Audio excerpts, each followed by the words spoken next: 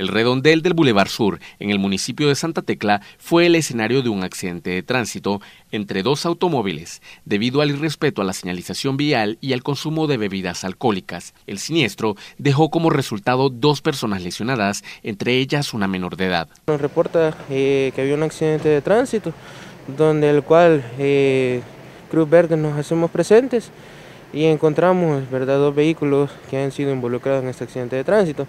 Eh, a primera instancia se manejaba que la persona estaba eh, atrapada, ¿verdad? Se verificó la situación y es un tanto negativo. Y la persona se tiró aquí el alto, que es del redondel donde es el ex, ex rastro de Santa Tecla. Y... venía de la boca calle, venía saliendo de la calle que viene de, de Santa Tecla, digamos. Correcto. Él tenía el alto, yo tenía derecho de vida. Se tiró el alto y le pegué en la punta del vehículo, quedando siempre en mi mismo carril donde yo me conducía, saliendo heridas mi esposa y mi hija. Otro accidente de tránsito se registró en horas de la noche en la autopista Comalapa en las cercanías de la residencia del Montelimar. En el percance, una mujer perdió la vida. Además, se reportaron dos personas lesionadas de gravedad, entre ellas una menor de edad.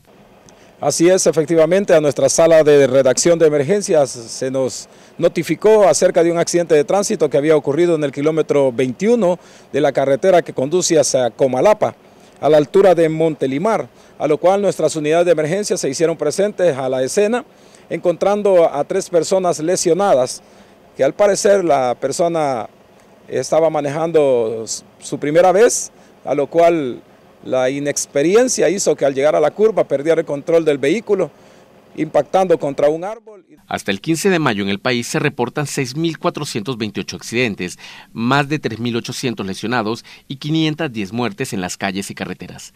Con imágenes de José Delgado, informó para Noticiero Hechos Rommel Hernández.